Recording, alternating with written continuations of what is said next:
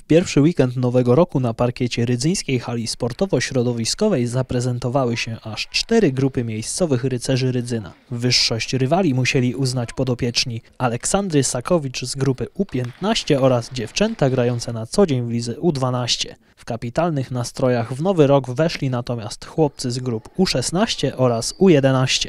Widzę, że trener Robert uśmiechnięty, no i te powody do radości są na pewno po takim meczu jak dzisiaj z Piątką Ostrów.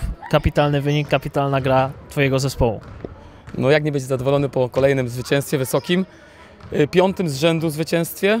Bez porażki jest drużyna U11. Został nam jeszcze jeden mecz z Piątką Ostrów na wyjeździe i przechodzimy wtedy, czekamy na drugą rundę, będziemy grali z drugą grupą.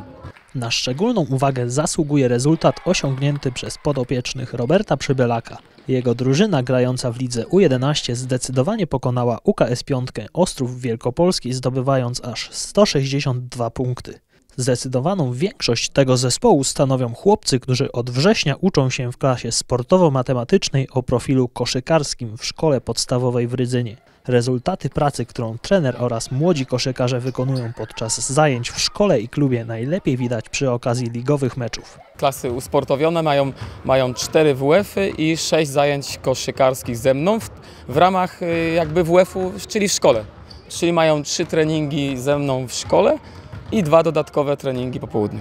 Młodzi koszykarze grają nie tylko skutecznie, ale i efektownie. Jacek Kaszuba oraz Filip Chodura w meczu z Piątką Ostrów popisywali się akcjami, których nie powstydziliby się profesjonalni gracze. Mi powiedział na ławce, żeby zobaczył na niego czy jest.